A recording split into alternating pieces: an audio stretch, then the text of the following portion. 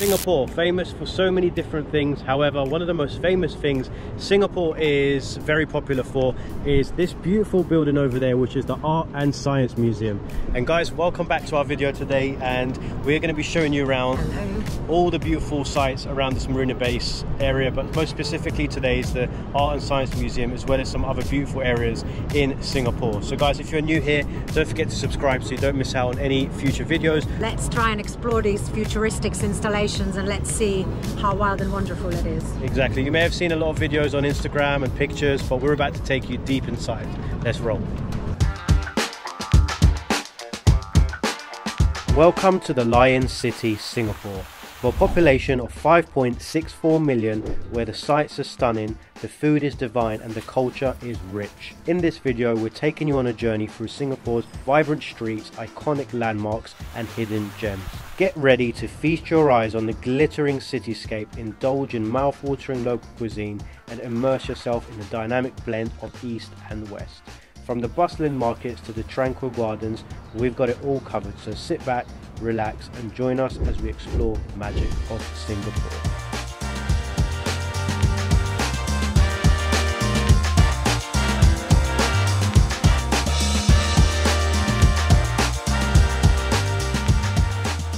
Guys, what I love about this area specifically is it's not just a one-off attraction place where you just come and go there and leave. You've basically got all these bars and restaurants and you've also got the Marina Bay Sands shopping mall which is just inside. We covered a lot of that in one of our in our first impressions videos so you may want to go check that out as well either during this video or when it's done so you can get a good idea of what that mall is like as well. As you can see it's literally just to my right behind me and there's plenty of beautiful shops and restaurants in there as well so you can really make a day out of coming to the Science Arts and Science Museum.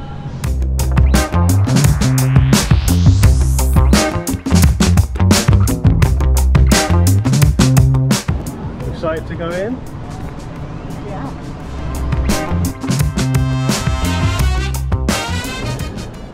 So guys, we've just made our way inside. Let's see where we have to go. Hello. Where is the entrance? How do we get inside? to future world. Yeah. It's over there, the white wall. Over there, yeah? Yeah. Okay, thank you. So guys, when you actually come inside the Science Museum, come down to B2 and there it is. Look for the future world.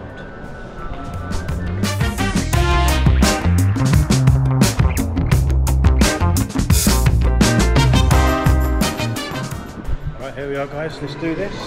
Hello my friend, how are you doing? I'm good. How are you doing? Fantastic my friend. Hey. Hello. Yes, sure. It's a QR code, right? I can just take this. Just want to take one scan. Okay. So our inside photos are allowed. Just make sure it's without any flash, okay? Okay. Uh, can I have your umbrella, sir? Yes. So we tend to keep umbrellas here. Okay, Okay, just don't perfect. give it to nobody else. Of course. Yeah. Here's your tag to prove Oh, okay. that this is yours. Like. Fantastic. Enjoy the exhibition. please. Thank you, thank you, thank you.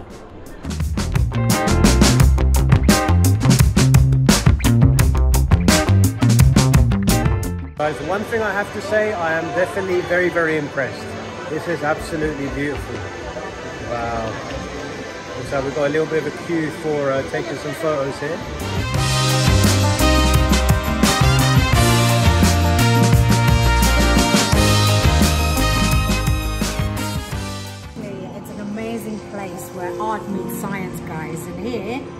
See an installation called 100 Years Sea. It's basically a digital installation of the sea, showing how the sea levels rise caused by the climate change. And it's just amazing to see how the artists put it all together based on a real scientific data.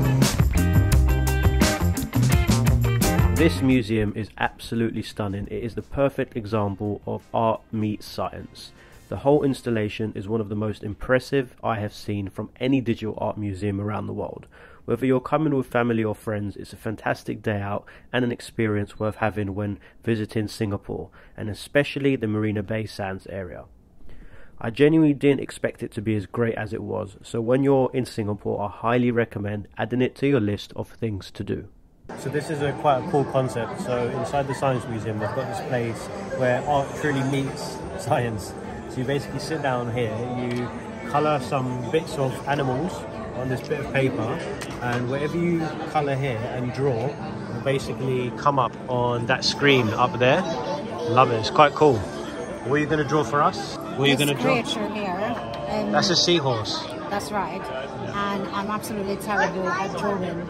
You just have to colour it. But I am willing to, um, you know, experiment. Let's see what comes out of it.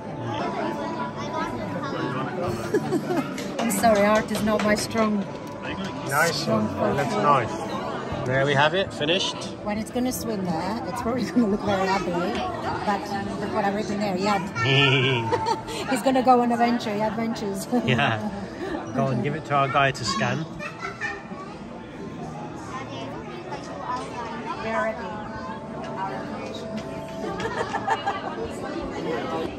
There, there, he just came in. There, yeah. There, there. There, he's there. He's there, there. Yeah. he's swimming.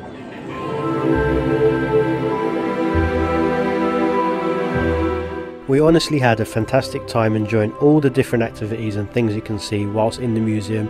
It was one of the most interactive museums we've visited in the world.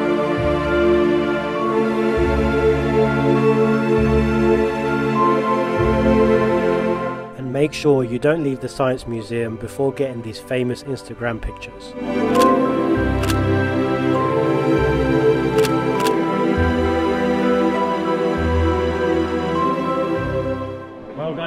Is the experience over, and I thought it was very cool. Oh, it was brilliant. If you like, you know, these digital installations, techie, engaging things, interactive things, you should definitely give it a good go. Yeah, it was a bit dark in there, guys, so I wasn't able to vlog too much, hence there's a lot of voiceover. But overall, I mean, I highly recommend it. It's a, one of those things where you come and enjoy for at least like an hour or so. Um, but it is something that you'll go away with and definitely remember for the rest of your day. And you'll get those famous Instagram shots. And it's interactive and it's fun. And there is also a lot of spaces for kids, you know, so they, they can be kept quite busy if you come here with family. And that's it, guys.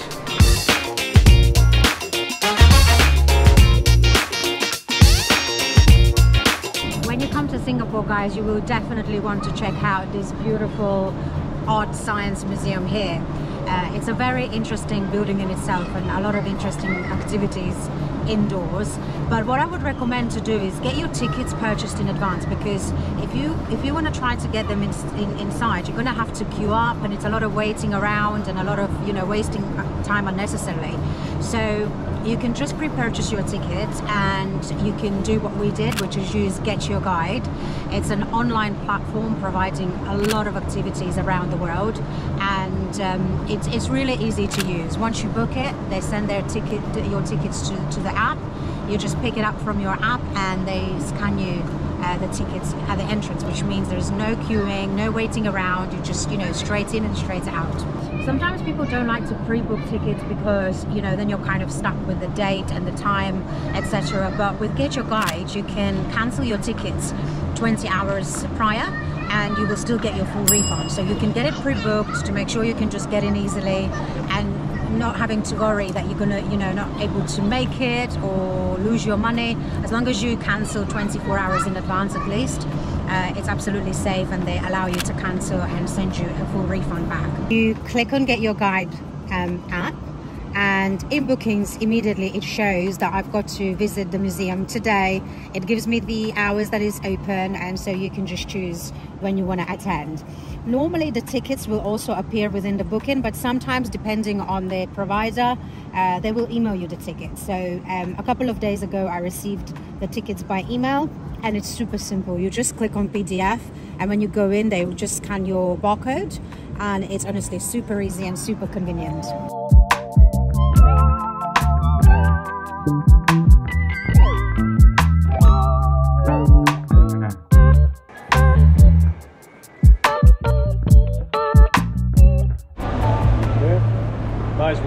over to Little India. We've got ourselves a grab.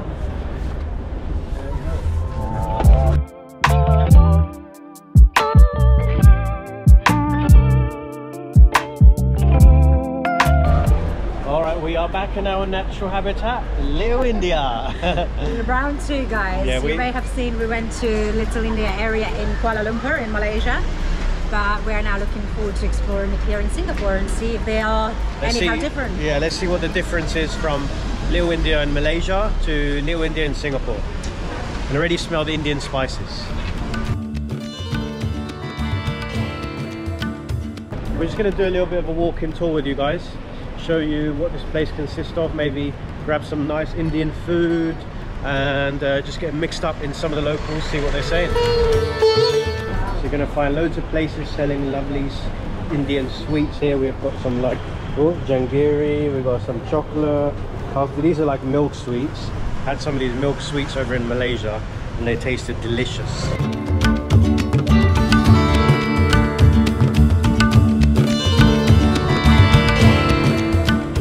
Through a little market here in Little India and it seems like they're selling all types of Indian things such as these beautiful flowers which they use a lot for celebrations in India and also we've got the singing bowls remember these? Yeah.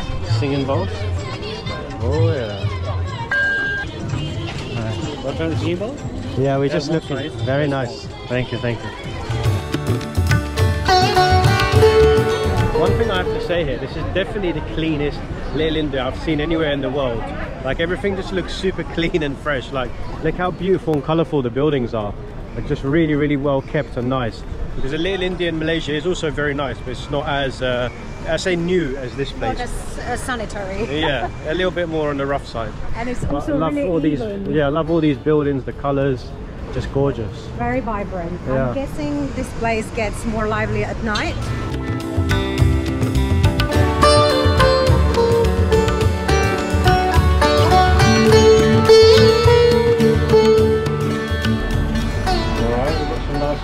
Indian sweets here. Hello my friend, how are you? Good. Uh, can you just tell us, what is this one? Milk? Milk? Milk and badam and uh, black brown sugar. And chocolate or? No, brown sugar. Oh, just brown sugar, yeah? Okay. Mm. And this one? This one? This one is same, but white sugar. Ah. Okay. Ah, okay. I think I would like, can we just try like buy one and one? Uh, minimum is 100 grams. Ah. 100 grams or three pieces. Three pieces, okay, that's fine. So one pistachio, please. Yeah. One of this one. Yeah. And one more uh, milk burfi. Or chocolate burfi, actually. Yeah. So guys, we're getting three different types of Indian sweets. We're getting one which is made of brown sugar and milk. And then one which is going to be with pistachio. And one with milk and chocolate. Yes, we need some sugar, guys, to get our energy back. Yeah, so five dollars forty Singaporean dollars for three sweets. Ain't cheap. It's very yeah, If you were in India, you could probably buy a whole box for that man. You could probably buy a whole yeah. city. yeah, to be honest, that's a rip off. But, but we are in Singapore. Exactly. Yeah. Thank, Thank you. very much, Thank sir. Cheers. Can we just, we'll just uh, sit inside. Thank you.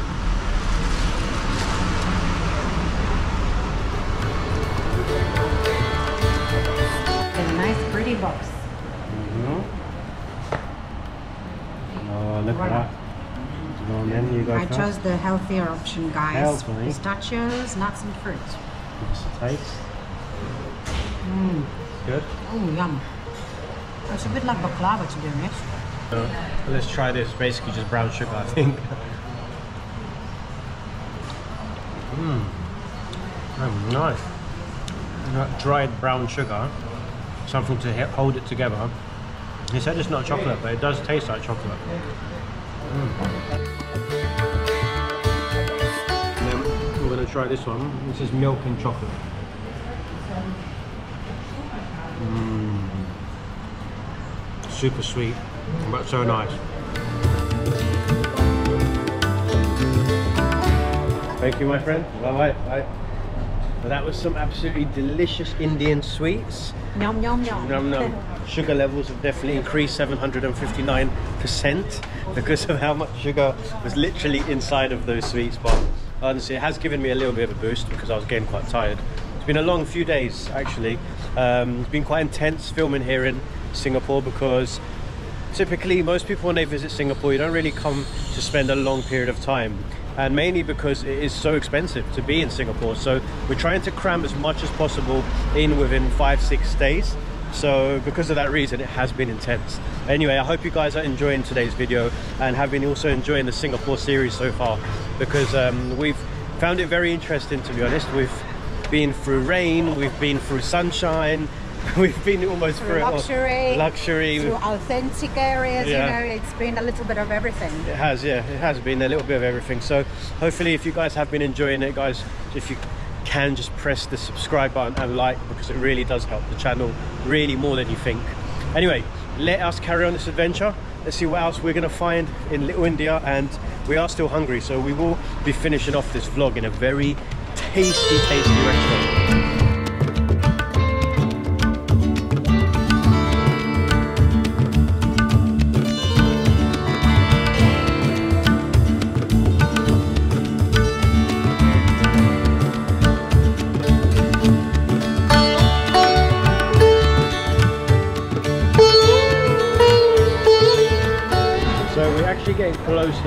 Restaurant called Banana Leaves, but just before we get there, you walk past all these gorgeous different types of Indian restaurants. There's so much to choose from, but we were actually recommended to come to Banana Leaf specifically because apparently it's got one of the best dishes here, right?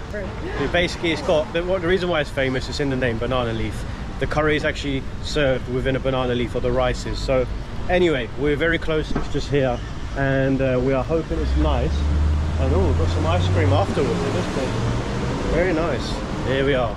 We finally made it to the famous Banana Leaf Apollo since 1974. Hello, my friend. Two people, please. Thank you.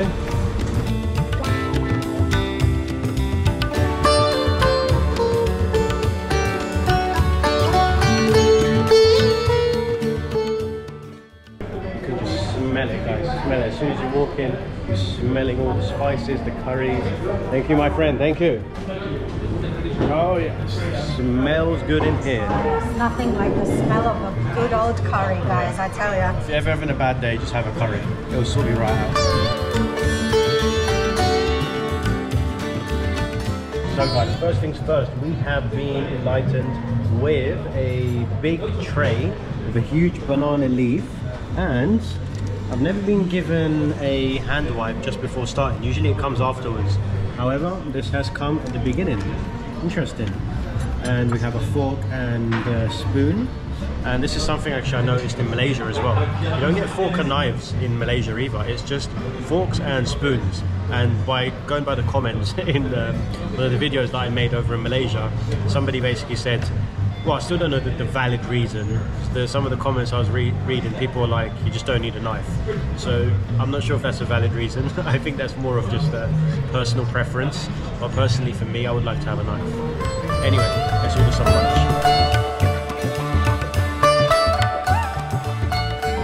Guys, they have a big, big menu here. But one thing I will say, it definitely isn't the cheapest of Indian food I've ever had. Again, not surprised because we are in Singapore and things here are not very cheap. However, typically Indian food is not that expensive, so I'm quite surprised to see these prices. But it probably is because this place is very popular. It's you know one of the highest ratings on Google, so it makes sense.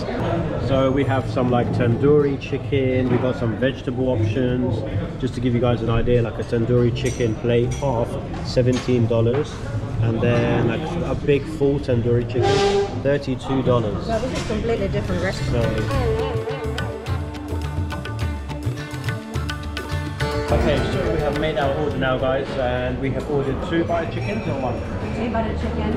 Oh yeah. one garlic naan, and some white rice. Just what the doctor ordered. Now let me know guys if you're watching this video as well if you also like Indian food because honestly Indian food is for me my favorite in the world. The flavors, the spices, just everything that goes in it is so complex but so simple at the same time.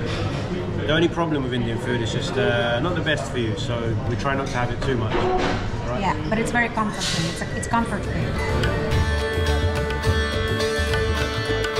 Wow, look at that. Fantastic. Yep, thank you. And we ordered some rice as well.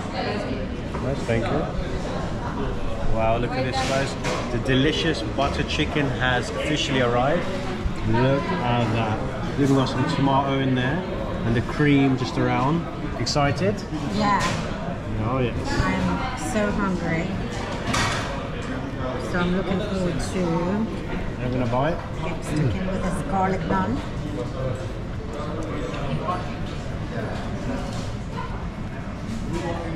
Let's have a little dip. Rice. Yes, thank you, my friend. Thank you. Good old butter chicken. It's good. Oh, Fantastic. yummy, yummy. Right, now let's give myself a taste. So, this is a garlic naan, basically garlic bread. So give it a little dip. So it passes the taste test. Delicious. Really, really good. Super buttery, super smooth. Mm. Very delicious. Not too oily either. The consistency is very very thick, very creamy, very smooth. Lovely. Let's get some rice in there as well. Now guys, what I love about this is how you basically eat from this banana leaf just here. So you pour all the rice and the curry right into the banana leaf. Let's see if it makes a difference to the flavours. Mm. Delicious. One thing I will say, I would say that the butter chicken is a little bit on the sweet side, just a very, very little bit. Could do with a little bit more of a, little bit more of a spicy salt, and a bit more of a kick. I feel like it's missing. Overall, it is delicious. Let's try some of the chicken as well. Mm. Chicken's good. Very soft, tender. I like it.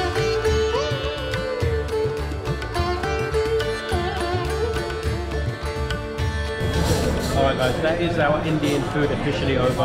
And we managed to finish, I would say, about 60% of it because it started becoming very, very heavy overall.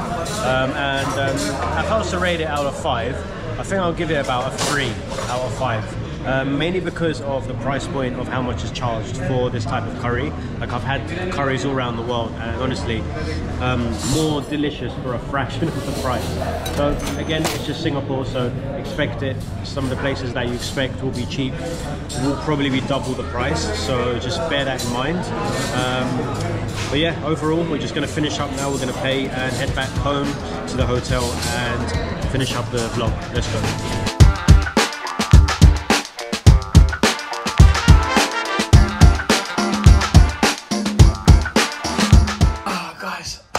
That is a full day officially finished exploring Singapore and I hope you guys enjoyed the video.